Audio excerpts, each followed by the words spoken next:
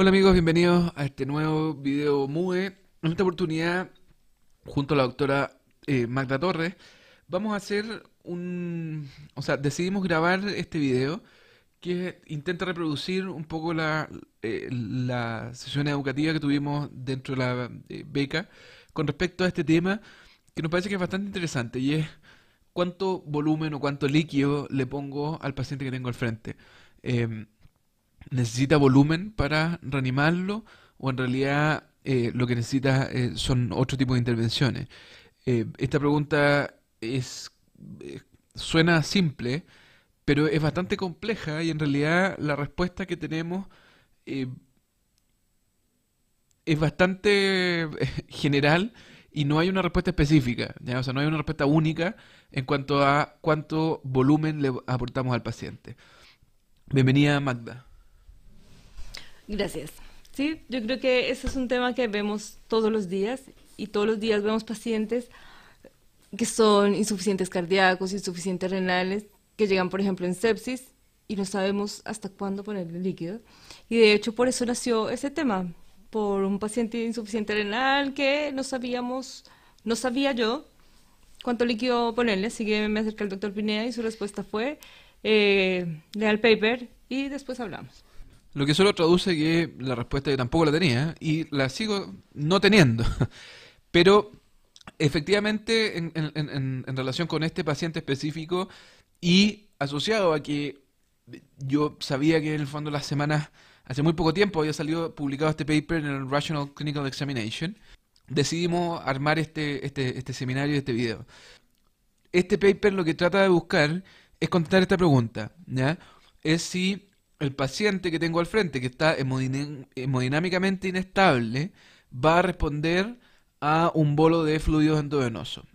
Fue publicado el año 2016, hace un mes probablemente, un poco menos, eh, en, el, en el llama. Eh, es un trabajo que es interesante, es un trabajo de revisión en el fondo, donde se le asignan eh, LRs, tanto positivos como negativos, a ciertas características que se han utilizado como predictores de si el paciente va a responder a volumen o no. El trabajo es en un setting bastante específico, pacientes que ya han recibido eh, 3 litros de suelo fisiológico em, y que pese a esto siguen eh, hemodinámicamente inestables.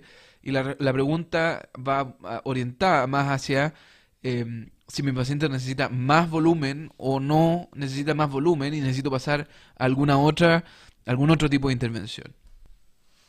Y a modo de ejemplo, ese día en la reunión pusimos esta radiografía con un caso de un paciente que llegaba remitido de otro lado con una infección urinaria en tratamiento, pero que había remitido porque había presentado dificultad respiratoria.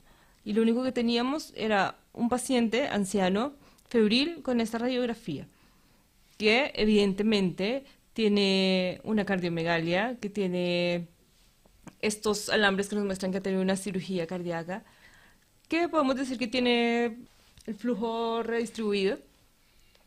Y eh, la duda es si tengo un paciente escéptico, anciano, con estos antecedentes, con este corazón, con este pulmón, ¿cuánto líquido le pongo? ¿Ya?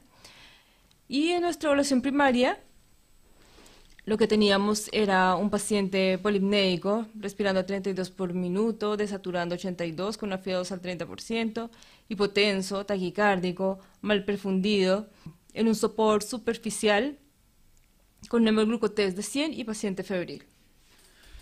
Es interesante toda la eh, amplia eh, gama, en el fondo, de diagnósticos que uno puede plantear en este paciente. Eh, y intentar darse cuenta de qué es lo que le está pasando a este paciente, o sea, cuál es la causa de, eh, de, la condición clínica que tiene el paciente que tenemos al frente. Ahora, así a grandes rasgos y mirando estos números, eh, imaginándose al paciente, un paciente que está en shock, em, y como un paciente que está en shock, eh, requerimos en el fondo más información. Hay que tener claro que requerimos primero tomar algún tipo de acción con este paciente, porque si no, eh, vamos a dejar de tener pacientes luego. Eh, y segundo, uno está pensando en el shock y está pensando en la causa. Eh, todos sabemos y hemos leído los libros y las causas de shock, etcétera, em, quizás no es tan relevante eh, desde el punto de vista práctico esas divisiones, pero sí necesitamos saberlas y necesitamos saber qué ir a buscar para el, tratar de elegir la mejor intervención que saque al paciente de la condición clínica en que está actualmente.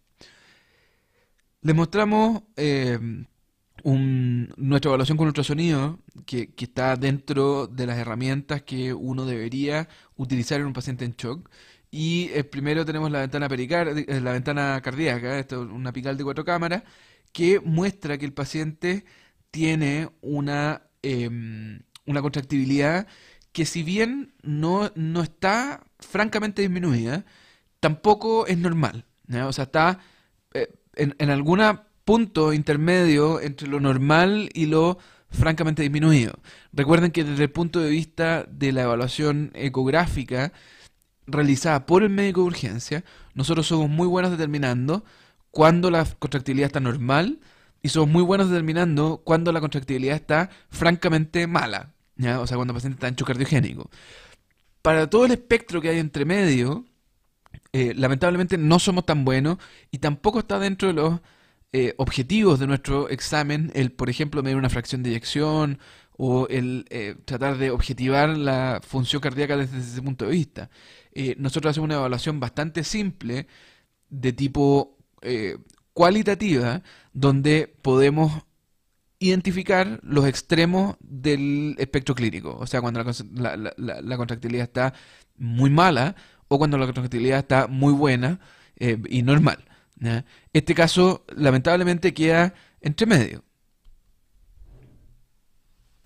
Esta es nuestra ventana pulmonar, donde vemos las líneas B que están desde la pleura hasta el fondo de la pantalla, que en el fondo se traduce en congestión pulmonar.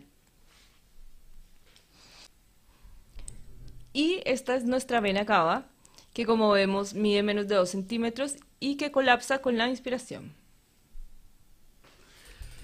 Entonces, en resumen, tenemos un paciente que está francamente choqueado.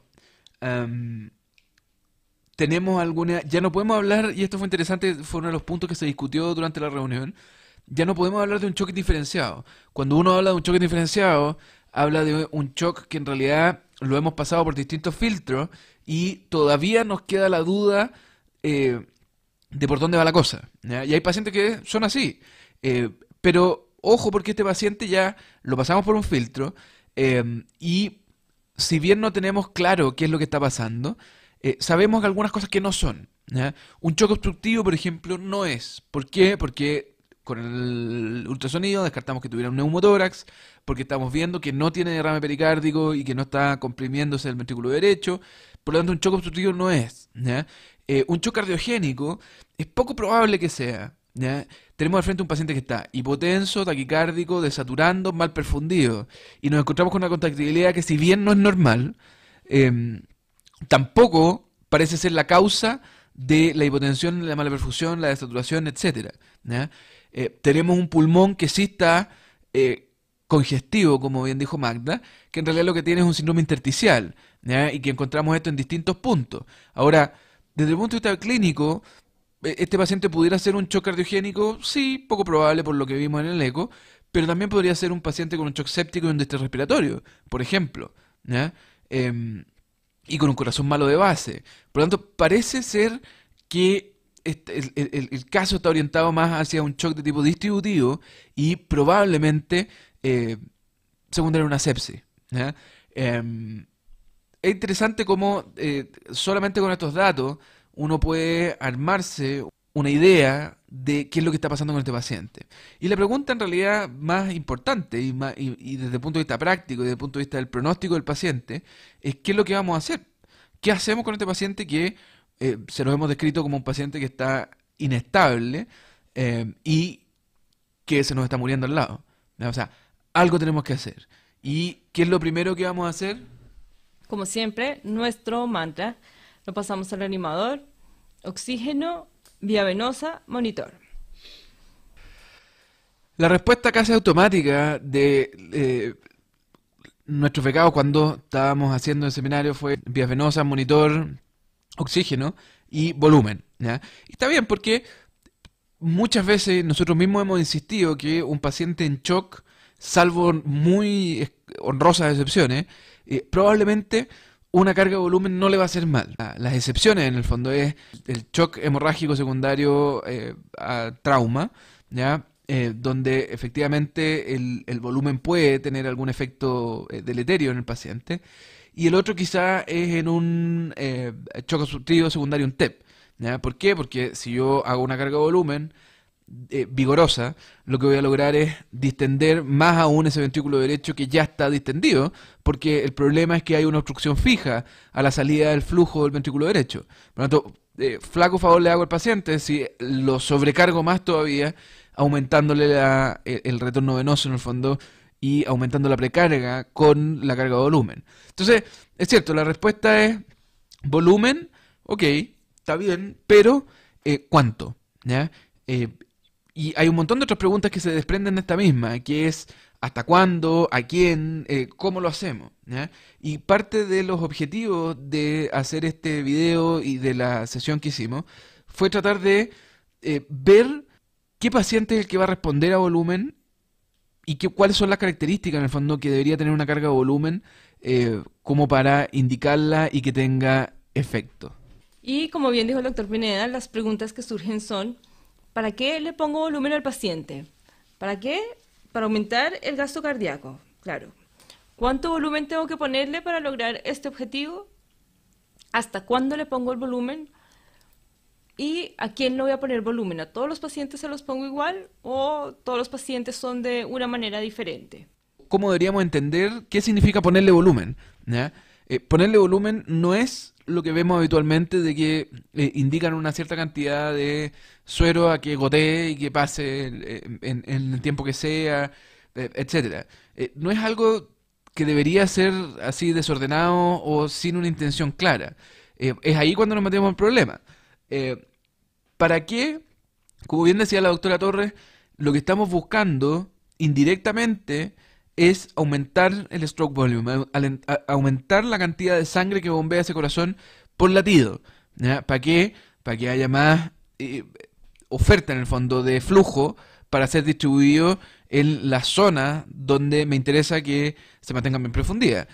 Que dependiendo de la gravedad del paciente, eh, en prioridad debería ser el cerebro y el corazón, para partir.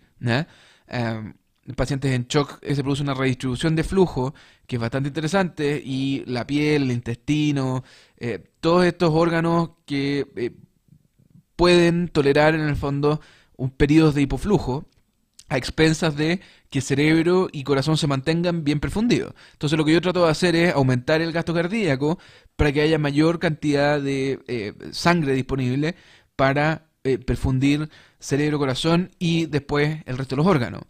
¿Hasta cuándo eh, tengo que saber que si yo busco este efecto, es un efecto que es absolutamente limitado? O sea, que no es eterno. Yo no le puedo pasar 10 litros de volumen a alguien y esperar que mejore y mejore y mejore y mejore el gasto. Hay que saber hasta cuándo y cuándo parar. Eh, ¿Cuánto necesito saber cuál es la dosis suficiente para lograr el cambio hemodinámico que yo estoy buscando? Porque si le indico 500 cc en 3 horas, eh, Acuérdense que en menos de 30 minutos el 90% de lo que pasamos de fisiológico está fuera del intravascular, por lo tanto no tiene ningún efecto. Tienen que ser volúmenes eh, definidos en un tiempo definido. ¿Y a quién? La respuesta fácil es al que lo necesite o al que vaya a responder. En otras palabras, al que si yo le pongo la carga de volumen, va a aumentar su gasto cardíaco, va a aumentar su volumen latido y va a permitir que el paciente salga del estado de choque en el que se encuentra. Ahora, probablemente, y como ustedes comprenderán, no hay una respuesta fácil a esto. Suena fácil, pero creo que es un buen primer paso importante el entender qué es lo que estamos haciendo y qué es lo que estamos buscando. Porque de esa manera podemos entender cómo interpretamos lo que estamos leyendo. Entonces, tenemos que tener en cuenta que eh, a mayor volumen que le pongamos al paciente, mayor sobrecarga le vamos a poner y por lo tanto vamos a aumentar su mortalidad debemos identificar en qué punto de la curva de Frank-Starling está nuestro paciente para no llevarlo a una sobrecarga de volumen, a un edema pulmonar. Entonces, la pregunta es, cómo responde mi paciente a una prueba de volumen para saber hasta qué límite voy a llegar.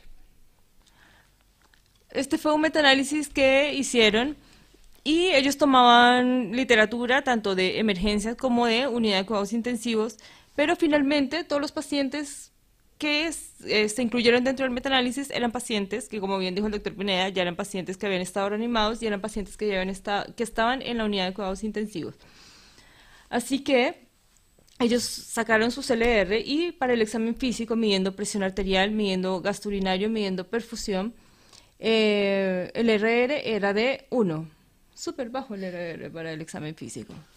O sea, más que bajo no sirve, ¿ya? Porque no cambia en absoluto tu probabilidad pretest.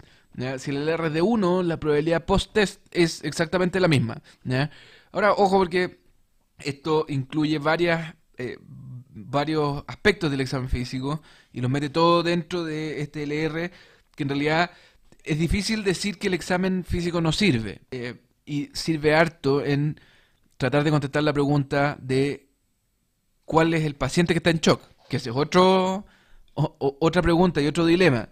Aquí estamos tratando de contestar si a través del examen físico o de, los, de, las características del examen físico que ellos definieron para el metaanálisis, yo puedo predecir que ese paciente va a responder a volumen. O sea, si fijándome la frecuencia cardíaca, fijándome solamente en la presión arterial, eh, fijándome solamente en la perfusión periférica, eh, yo puedo, soy capaz de predecir y solamente utilizando esto, decir, sí, mira, este paciente va a responder a volumen porque está hipotenso, porque está taquicárdico, etcétera. Eso no lo, no lo logra el examen físico. Tiene un LRD 1, lo que significa que la probabilidad post-test es exactamente la misma que la probabilidad pretest. Por lo tanto, no deberíamos utilizarlo al momento de tomar la decisión de si voy a seguir poniéndole volumen o no a este paciente.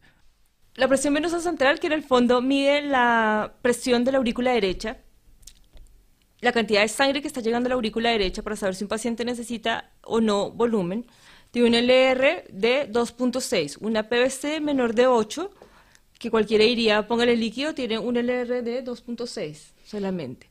Y una PVC mayor de 8 tiene un LR negativo de 0.50. Sí, esta, la, la, presión venosa central hace tiempo que ha caído un poco en descrédito eh, desde el punto de vista de si es un buen predictor de mi paciente necesita volumen o no. Eh, como vemos, eh, y este trabajo reafirma lo que ya sabíamos, es que una presión, una presión de venosa central de menos de 8 habla de que probablemente la precarga de ese paciente está disminuida. Y eso es así y tiene una muy buena correlación. Aquí estamos haciendo, les insisto, una pregunta distinta. ¿Es la PVC menor de 8 un predictor de que el paciente va a responder a volumen?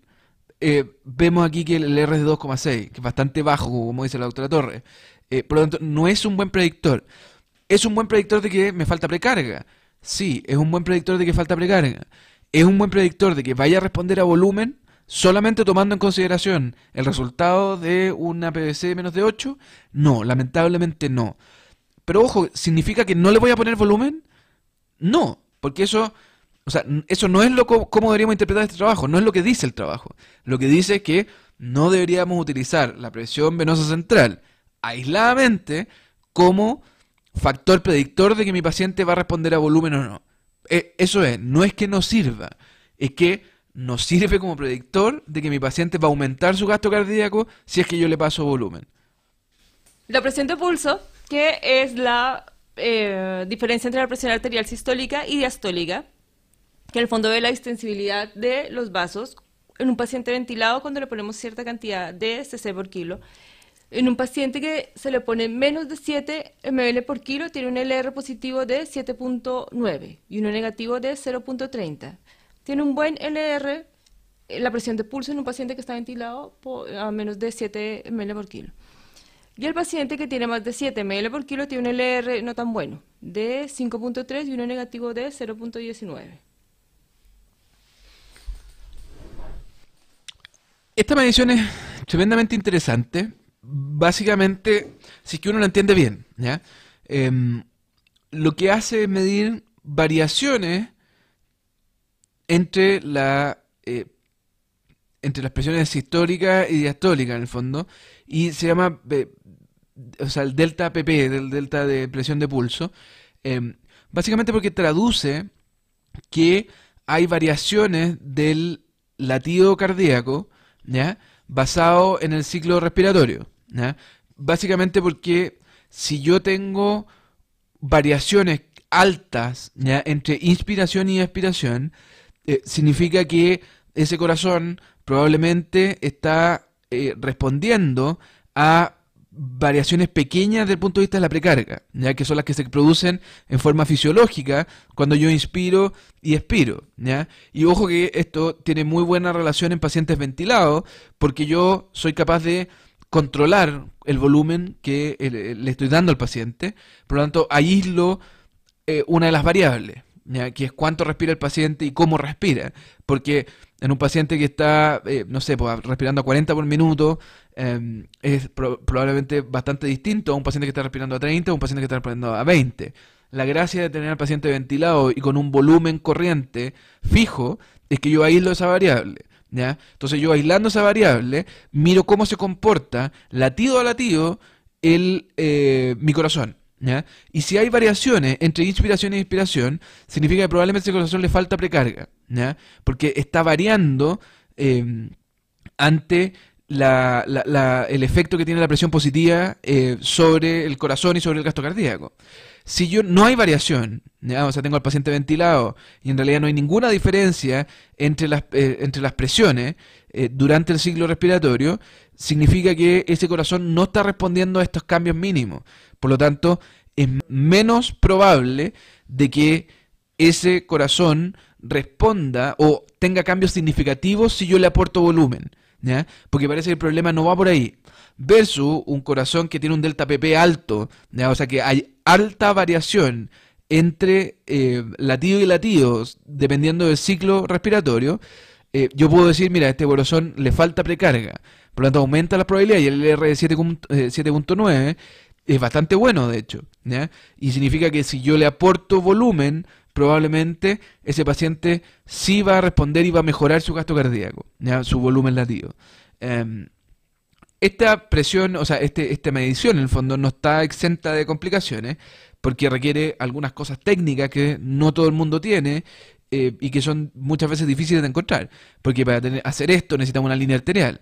O sea, necesitamos ser capaces de desplegar en el tiempo eh, una medición de latido a latido, ya donde yo claramente puedo ver gráficamente cómo van variando. O sea, hacer un delta PP, por ejemplo, con presión arterial no invasiva, o sea, es imposible, no tiene ningún sentido hacerla. Por lo tanto, si yo no tengo una línea arterial y un monitor que sea capaz de medir esto, eh, en realidad no puedo usar esta herramienta. Eh, tengo otras herramientas, me las puedo arreglar de otra manera, pero el delta PP requiere primero, entender qué significa y saber cómo se usa. Segundo, tener la máquina eh, que se requiere eh, y tener toda la capacidad técnica de hacerlo. Si lamentablemente en, la, yo me atrevería a decir que en la gran mayoría de las urgencias en nuestro país eh, esto no es una realidad y no podemos tenerlo. ¿Deberíamos tenerlo? Sí, quizás sí, porque es una herramienta que ha demostrado útil al intentar responder una pregunta que es bastante compleja. La variación de la vena cava, que también se traduce en los cambios que tiene la vena cava con cada respiración. En los pacientes ventilados, la variación de la vena cava tiene un LR de 5.3, un LR positivo y uno negativo de 0.27. Y hay un par de trabajos que se hicieron, que se encontraron también con pacientes con ventilación espontánea, donde tenía un LR positivo de 3.5 a 9.3, según el trabajo, y uno negativo de 0.38 a 0.7. Eh, pero realmente es una, es una herramienta que nosotros usamos harto en la urgencia, ver la variación de la vena cava para ver si el paciente responde o no. Sí, la vena cava es útil, eh, pero eh, no creo que es mucho más útil que la PVC, porque finalmente lo que estamos haciendo mirando la cava es extrapolar la PVC cuando la PVC está baja. y al al ser un equivalente a la presión venosa central, tiene las mismas limitaciones que la presión venosa central. Por lo tanto, es esperable que sea útil cuando la vena cava mide menos de 2 centímetros y colapsa más de un 50%, pero si está normal o está grande, probablemente no tiene mucha utilidad. Entonces hay que saber cómo interpretarla y cuándo nos sirve. Nos sirve, sí, cuando está a menos de 2 centímetros y cuando colapsa más del 50%. Em, aquí, de nuevo, eh, ellos hicieron y está descrito con mediciones, por lo tanto uno debería medir si colapsa más del 50%, eso se puede hacer con un modo M. Ahora, desde el punto de vista práctico, em, en personas entrenadas con experiencia en ultrasonido de urgencia, la evaluación cuantitativa y la cualitativa de la cava em, tiene exactamente el mismo resultado.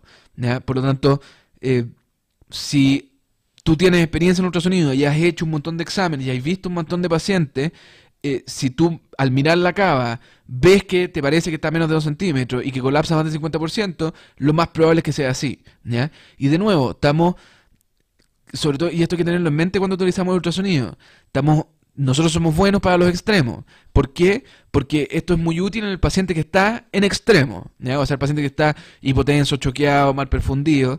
Eh, para que lo que encontremos nosotros sea la causa de cómo está el paciente, tiene que ser igualmente evidente. ¿ya? O sea, me parecería muy extraño encontrarme con una vena cava grande en un paciente choqueado eh, y que la causa sea efectivamente un shock hipovolémico o un shock hemorrágico o un shock séptico.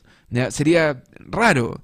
Lo mismo con la, función del corazón. Sería muy extraño encontrarse con una buena función o una función ventricular decente, razonable al ultrasonido, y que la causa del shock sea un shock cardiogénico. Porque si bien nosotros somos buenos en los extremos, aplicamos y deberíamos aplicar esta herramienta al paciente que está en los extremos. O sea, al paciente que clínicamente hay algo que está muy mal y que yo debería encontrar la respuesta en ultrasonido y que debería ser igualmente evidente. La elevación pasiva de las piernas, que en el fondo consiste en hacer llegar al corazón de 200 a 300 cc que hay en las extremidades inferiores, retornarnos al corazón y así ver si mejora el, eh, el gasto cardíaco. Esto tuvo un muy buen LR, eh, tuvo un LR positivo de 11 cuando se medía el gasto cardíaco con ecografía. Y tuvo un LR positivo de 3.12 cuando se medía el, el, cambio en el gasto cardíaco con la presión de pulso al elevar las piernas. Eh, es lo que mejor LR tiene y lo que podríamos usar siempre y cuando tuviéramos, estuviéramos, como decía el doctor Pineda, si tuviéramos en nuestro servicio de urgencias un aparato o que, un monitor que pudiera medir la presión de pulso, una línea arterial, o que tuviéramos la persona entrenada para hacer un eco y nos pueda medir el cambio en el gasto cardíaco. Eso es interesante porque eh, si bien los números son buenos, hay un LR de 11 muy bueno, tiene las limitaciones técnicas que acaba de decir la doctora Torres. O sea, esto no significa levantarle las piernas al paciente y que se acaba el problema. ¿ya? Significa que tengo que tener a alguien ahí haciendo mediciones desde el punto de vista ecográfico que yo lamentablemente no sé hacer, ni puedo hacer, ni pretendo hacer, ni voy a aprender a hacer. ¿ya? Em, y el tema del, delta PP, o sea, de, la diferencia de presión de pulso, eh, también es, extremadamente interesante como predictor, pero también tiene las mismas limitaciones técnicas. Por lo tanto, si bien esto demostró en el trabajo ser lo más útil, ya como predictor de si el paciente va a responder a volumen o no, eh, desde el punto de vista práctico parece no ser tan práctico, eh, por las razones que hemos descrito. Entonces, cuando nos digan estas cosas, hay que entenderlas de esa manera. Hay que saber bien para qué está orientado este trabajo y qué es lo que cuál es la pregunta que iba a contestar y no tratar de extrapolarla a otras situaciones clínicas eh, o tratando de hacer otras cosas porque no corresponde. Estos son los elementos y las herramientas que este trabajo midió. ¿ya?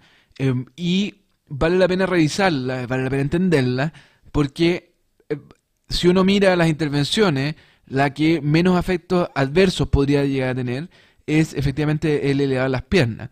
Si bien el método es no invasivo, porque hay que levantar las piernas al paciente, para que tenga los rendimientos que tiene, necesitamos métodos invasivos de medición. Por lo tanto, si bien eh, estamos buscando tratar de simplificarnos la vida y no hacerle daño a nuestro paciente, eh, este método para que tenga el resultado y el rendimiento que está descrito, requiere sí algunas medidas invasivas, que está bien, no son tan terribles, ¿ya? porque significa una línea arterial eh, y alguien que haga una eco, pero sí lo hace complicado desde el punto de vista técnico. Eh, creo yo que esta pregunta es tremendamente relevante tratando de seguir este principio, que es primero no dañar, no hacer daño. Y creo yo que eh, ya adelantar un paso es reconocer que el volumen sí puede dañar, que es algo que eh, nosotros no, teníamos muy incorporado y que la eh, última evidencia ha demostrado que sí incluso tiene una, alguna correlación con un aumento de la mortalidad, con mayor días de UCI, con mayores complicaciones, etcétera. Y es porque post Rivers probablemente nos pasamos y se pasó la balanza hacia el otro lado, que es tratar de sobre reanimar a los pacientes o dar a los pacientes la mayor cantidad de líquido posible, pero sin mirar esta otra parte, de qué pasa cuando le estamos dando líquidos y volumen a un paciente que no lo necesita, o que si bien uno puede creer que lo necesita, que no va a responder, o sea, que, no que la intervención que vamos a hacer no, no va a tener el efecto que nosotros estamos buscando. Y eso es agregarle morbimortalidad al paciente sin tener eh, un efecto clínico en el fondo beneficioso.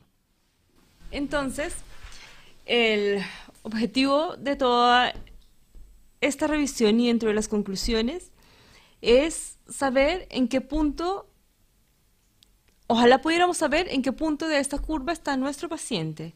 Para nosotros sería ideal saber que todos los pacientes están al inicio de la curva y que si le ponemos una carga de volumen, si es un corazón enfermo, va a aumentar un poco su stroke volume. Y en un corazón sano también le vamos a poner líquidos y aumentar su stroke volume. Pero lamentablemente en la urgencia no vamos a poder saber eso. Así que para eso tenemos que hacer una carga de volumen y ver cuánto puede subir nuestro stroke volume sin aumentar la presión hidrostática del capilar pulmonar y llevar a nuestro paciente a un edema pulmonar, una sobrecarga de líquidos pulmonar. Esto es, tremendamente importante entenderlo. Hay demasiadas variables que no sabemos ni tenemos cómo saber, ni tenemos buenos indicadores de cómo medirlas. El primero es que, sí, todo el mundo sabe que un corazón enfermo responde de manera distinta a un corazón sano. ahora, la pregunta que yo les hago es, ¿cuándo o cuántas veces sabemos cuál es el basal de nuestro paciente. Uno puede sospechar, uno puede intuirlo, uno puede asumir, y eso es lo que hacemos habitualmente, que probablemente un caballero de, no sé, ochenta y tantos años con una esternotomía y una cardiomegalia en la radiografía, probablemente un corazón enfermo. Pero ¿qué tan enfermo? Versus alguien joven eh, que uno asume que va a tener un corazón sano. Ojo que a manera de ejemplo y que va viene bien como ejemplo al caso, eh, esta semana he visto ya cinco pacientes de menos de 40 años con infartos con supra. Y, no así dudosos, no, no, infartos con supra de nivel. Pacientes de 34, 36, 38 años. Por lo tanto, ojo que la edad por sí sola, de nuevo, parece no ser suficiente. Y muchas veces asumimos cosas que no son. Entonces, esa es una primera variable que no sabemos. ¿Cuál es el basal de mi paciente para poder saber o poder predecir cuál de las curvas va a ser la que va a responder. La segunda incógnita que tenemos y que no tenemos manera de, podemos de nuevo, indirectamente sospecharla o indirectamente intuirla, es en qué parte de la curva está mi paciente desde el punto de vista del volumen de diástole. Tenemos, y hemos discutido algunos predictores como la PVC, como la ECO, eh, etcétera, que nos hacen sospechar dónde pudiera estar el paciente. Ahora, idealmente lo que estamos buscando es que el paciente esté más cerca del, lado izquierdo de la curva, en el fondo, esté en la, porción inicial de la curva. ¿Por qué? Porque ahí si yo intervengo a través de mi carga de volumen y buscando aumentar el volumen latido, eh, el, aumento del volumen que voy a lograr va a ser eh, bastante más significativo que si estoy en la mitad de la curva o más hacia la derecha, ¿ya? Donde a pesar de que yo le, agregue, precarga y le agregue volumen, lo que yo logro como efecto, como stroke volume, eh, es muy poco, ¿ya? Y sí empieza a aumentar las, eh, los efectos adversos, ¿ya? Por lo tanto, esa es una segunda incógnita que no sabemos. Primero, cuál es el basal del paciente, o sea, saber con qué corazón estoy enfrentándome. Segundo, en qué parte de la curva estoy. Y tercero, quizás la más limitante de todas estas, es que no tengo una buena manera de medir el stroke volume. No tengo mediciones directas del volumen latido. Son todas mediciones indirectas. Y todo lo que hemos visto y todo lo que ha revisado este trabajo son mediciones indirectas del volumen latido. Por lo tanto, no hay ninguna herramienta que sea muy útil por sí sola. No hay ninguna que sea extremadamente útil por sí sola. Porque son todas mediciones indirectas del volumen latido. Por lo tanto, si estamos buscando una respuesta así eh, concreta de, mira, este paciente va a responder a esta carga de volumen en estas condiciones, lamentablemente no la vamos a obtener nunca. No es porque no sepamos, o sea, porque no queremos contarle en el fondo, es porque realmente no sabemos. No sabemos qué, cuál es el paciente que va a responder a, volumen. Por lo tanto, aquí quizás la pregunta, y eh, leyendo en el fondo y preparando este seminario, también encontré un par de opiniones por ahí, de que quizás esto es una pregunta inútil, o está mal hecha la pregunta, porque ¿Voy a dejar de pasarle volumen al paciente? Probablemente no. Probablemente lo que tenemos que hacer es, y la pregunta adecuada es, a este paciente cuya recarga, o sea, cuya precarga ya está resuelta, ¿le sigo poniendo volumen o paso a otras intervenciones? Y otras intervenciones básicamente vaso activo. Quizás esa es la pregunta. Porque, está bien, salvo los casos que comenzamos hace un poco, una carga de volumen de un litro, por ejemplo, eh, puede que no sea tan dañino para el paciente. Cuando empezamos a hablar de 3, 4, 6 litros, eh, sí, claro que tenemos efectos adversos y efectos adversos eh, importantes. ¿ya? Tanto así que, como decía la doctora, vamos a al paciente o lo vamos a empujar hacia un edema pulmonar, eh, agregándole mortalidad. O sea, es un paciente que le estamos pasando volumen porque ya está choqueado, porque está séptico, etcétera, por la razón que sea, y le vamos a agregar además ahora un edema pulmonar cardiogénico secundario a una sobrecarga de volumen. La pregunta es quizás no, no tanto si este paciente va a responder a volumen o no, es, ¿este paciente está respondiendo a volumen? ¿Este paciente que ya solucioné su problema de precarga va a responder a más volumen? Eso quizás es la, pregunta más relevante. Y para entregarles algo en el fondo después de, este análisis y este video, ¿en qué quedamos? ¿Qué, ¿Qué, qué, es lo que tenemos que hacer? Y la idea, creo yo, es eh, tener esta mentalidad de que el paciente es un puzzle, y hay que tratar de armarlo. Y hay que tratar de armar. ¿Y cuáles son las piezas que tenemos que tener en consideración? Características del paciente. Tiene un corazón sano, tiene un corazón enfermo, los signos vitales que tiene inicialmente el paciente, con qué nos encontramos la primera vez que vemos al paciente y con qué nos encontramos después de que le hemos hecho una carga de volumen. El ultrasonido, que si lo tenemos, tenemos que usarlo para ver ah, básicamente la contractibilidad del corazón, la cava. La cava nos ayuda mucho para saber si ponemos o no ponemos más volumen. El delta PP, como vimos, súper valioso usarlo siempre y cuando tengamos los recursos necesarios. Podemos tener una línea arterial, podemos tener un monitor. Y la clínica, ver si el paciente mejoró su perfusión, la elevación de las piernas. Llegamos a la conclusión que era lo que más LR tenía, siempre y cuando tengamos los medios para poderla medir, como ya lo comentamos. Estas son las distintas eh, piezas, en el fondo, que hay que tratar de armar al momento de tratar de contestarse la pregunta ¿le sigo poniendo volumen o no le sigo poniendo volumen? Pacientes, signos vitales, ultrasonido, delta PP, la clínica, la perfusión clínica y cómo el paciente responde eh, y la elevación de las piernas. Desde el punto de vista de las conclusiones del trabajo, dicen, y estas son las que dice eh, literalmente el, el, estudio, en el fondo, el metaanálisis. El 50% de los pacientes que ya estaban en la UCI respondieron a fluidos. El examen físico y la BBC no sirven mucho. Los diámetros de la vena cava con el ultrasonido sirve en los pacientes ventilados.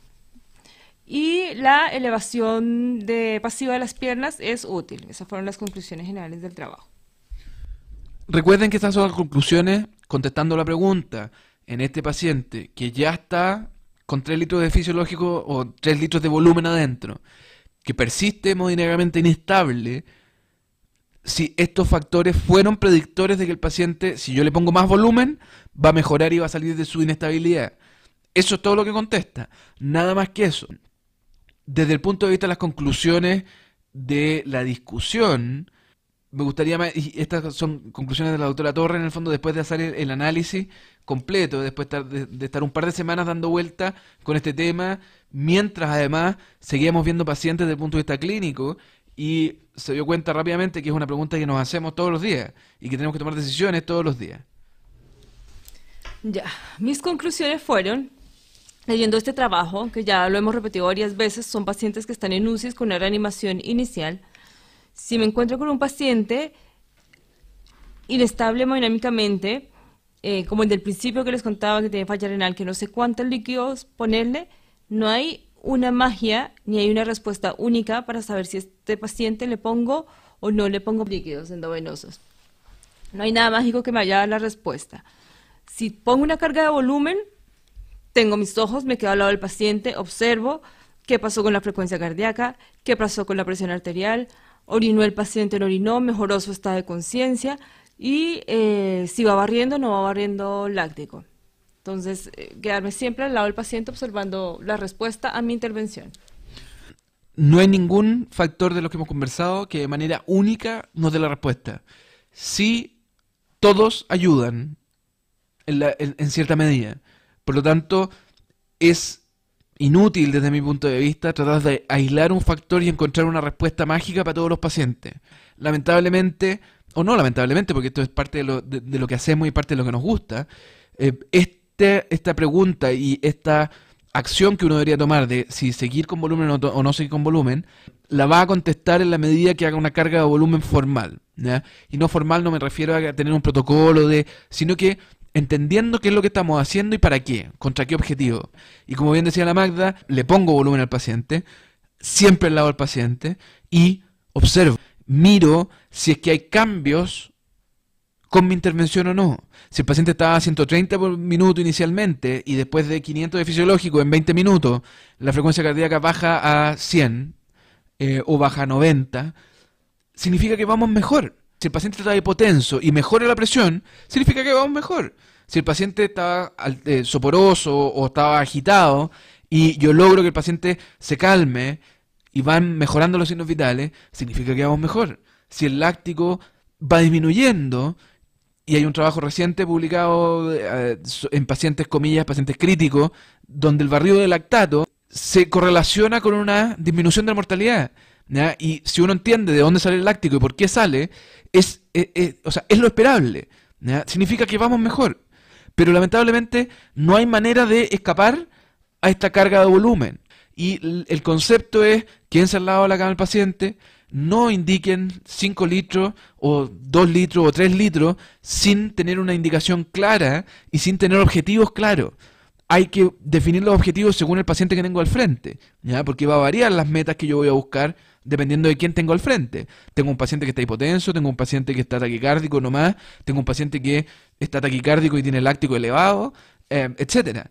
Entonces,